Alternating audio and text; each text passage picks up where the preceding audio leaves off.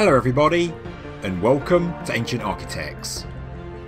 Please subscribe now to get the latest ancient history news and independent research from around the world. A couple of years before starting this channel, a seemingly major discovery was made at the Great Pyramid. In October 2015, an international team of researchers working as part of the ScanPyramids project started scanning the Egyptian pyramids using the latest thermal technology. They discovered mysterious heat spots across the pyramids, including one large patch on the Great Pyramid.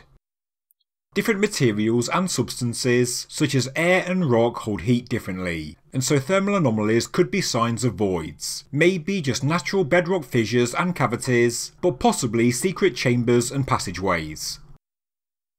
The thermal scans show there are a number of temperature changes across the pyramids, and the most impressive one was noted at ground level on the eastern side of the Great Pyramid. At the end of 2015, Egyptian authorities held a huge press conference in front of the thermal anomaly at the pyramid, and there were promises that this discovery would pave the way for new groundbreaking research into the study of ancient Egypt. Interestingly, experts said there was something like a small passage in the ground that you can see leading up towards the pyramid, reaching the area with a thermal anomaly, indicating it could be concealing an entrance into the pyramid. The scanning was done throughout the day so researchers could monitor the temperature changes as the pyramids heated up with sunrise and then cooled down at sunset. Each block that makes up the pyramids does have a slightly different temperature, but by monitoring the speed of this heating and cooling, the researchers were able to isolate several persistent anomalies. The difference in temperature between adjacent limestone blocks varied only by 0.1 to 0.5 degrees Celsius, but the anomaly on the eastern side of the Great Pyramid was 6 degrees warmer than the blocks surrounding it. Talking to the media six years ago, the Minister of Antiquities Mamdouh Eldamaty said that these blocks were different in formation and that a similar situation was also noted in the middle of the eastern side of the pyramid. So that's the background, and as stated, it made headlines around the world in 2015, but sadly, it looks as though no specific work has been done since. Could it be indicating a man made passageway, a possible new entrance into the pyramid? Well, that's actually not impossible, especially if the hypothesis by architect Jean Pierre Houdin is correct that there is an internal ramp circling the pyramid just behind the outer layers of masonry. The anomaly could be an entrance into this ramp, which he believes was used in the pyramid's construction. His ideas do have credibility as well, because such an internal ramp was possibly identified with a microgravimetry scan of the pyramid. There is also this cavity on the outside edge of the Great Pyramid, and this was explored a number of years ago by Egyptologist Bob Brier, and this also fits with Houdin's internal ramp model. Looking at these diagrams, which have the microgravimetry scans superimposed onto the pyramid, and the eastern side is where we find the lowest part of the ramp.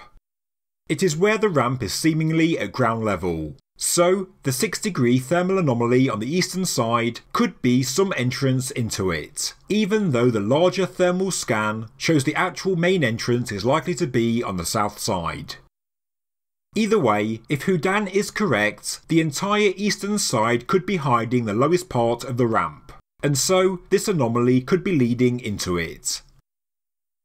But not everyone opts for an exciting interpretation of the data, and we do have to entertain a mundane explanation.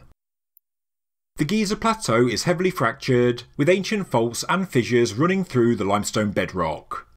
The fault system of the Giza Plateau runs north-northeast to south-southwest, and here we can see one such natural fissure running towards the Great Pyramid.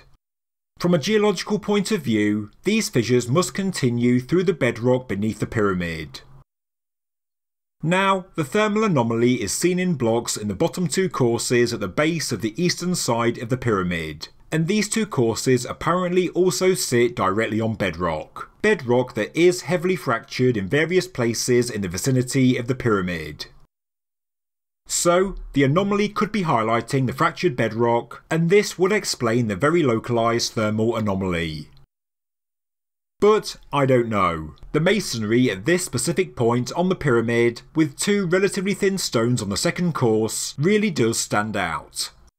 It does look odd, and I do think it could be some kind of worker's entrance from the days when the pyramid was constructed, being man made but functional. This discovery was made in 2015, but in the two years that followed, the ScanPyramids project also found another void behind the chevrons on the northern side of the pyramid, and then an even larger void above the Grand Gallery. These voids, found through the detection of cosmic ray muons, overshadowed the earlier discovery, and so we haven't learned anything else since. But I think that this thermal anomaly does deserve closer attention. It needs a fresh perspective. And so, as I finished writing this video, I went back to the news reports from 2015 and reread the quotes by Eldamaty about the so-called passage in front of the pyramid that leads towards the anomaly. Looking at photographs of this region, and this passage could pass for a natural fissure or fracture in the limestone bedrock, and we know they do cover the Giza Plateau. And, as he explains on his website, this is also the belief of Zahi Hawass. But when you look at Street View on Google Earth, it shows that this line is not a fissure. It's actually paved, and this paved area leads directly towards the anomaly. Looking at the fabulous AirPano aerial photographs, which give an interactive view of the Giza Plateau, I zoomed out to trace the paved linear feature further. Well, it cuts across the boat pit and then heads directly towards one of the openings of the trial passages. Strange, yes, but maybe it's just a coincidence. But when I looked at the entire eastern side of the Great Pyramid, there are more linear features extending from the pyramid. They are all roughly oriented in the same direction, so they could be part of one fault system. But I also noted that they are not actually all parallel, so are these features actually natural fissures or something else? Imagine being the architect of the Great Pyramid, the single greatest structure in the history of mankind, and choosing the location for your brave project. Would you really build such a colossal structure on top of at least 10 fissures running into and below its eastern edge? Logic says no. In fact, you might do everything to avoid it. The other linear features are not paved, they do look like cracks or cut lines in the bedrock, but I then made another incredible observation. Move south along the eastern edge of the Great Pyramid, and the next linear feature extends from the pyramid, across the boat pit once again, and directly into the other opening of the trial passages. Keep going south, and the next line terminates in the Khufu boat pit on the causeway, just in front of his funerary temple. The next line then terminates at the opening of the tomb of Khufu's mother Hetepheres. The next two lines mark the northern and southern edges of this pit-like feature, and then continue towards the northwestern corner of the first satellite pyramid.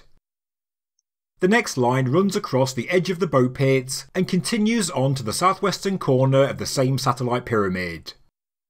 The next line points directly towards the entrance of the second satellite pyramid. To me, these linear features don't actually look like natural fissures, because on top of the fact they're not all parallel, some of them actually bend very specifically. In my opinion, what we could be looking at are guidelines, maybe when planning out the plateau. I don't know, what do you think? There are two specific missing bodies at the Great Pyramid, Khufu and his mother, Hetepheres, the wife of Snefru, did have a canopic chest complete with organic remains, as well as a sealed alabaster sarcophagus and grave goods inside her burial pit. But, as I showed in a previous video, there's no body. Khufu's body has also never been discovered as we know. Well, following the guidelines from the tomb of the Queen Mother, as well as the Causeway Royal Boat Pit, and the linear features point to this region of the Great Pyramid just to the south of the thermal anomaly. Therefore, is this section of the Great Pyramid actually hiding something of incredible importance? The lost royal mummies of the 4th dynasty. Is the thermal anomaly the doorway inside, hidden from plain sight to stop grave robbers, but marked with a very specific pathway, a pathway that could have been covered up after the royal mummies were laid to rest? I have no doubt the Great Pyramid of Egypt still conceals a number of secrets, and I just hope that in the coming years we'll be able to see inside all of the mysterious voids and learn more about the finer workings of this truly magnificent feat of ancient engineering. Thank you very much for watching this episode of Ancient Architects. If you enjoyed the video, please subscribe to the channel, please like the video, and please leave a comment below. Thank you very much.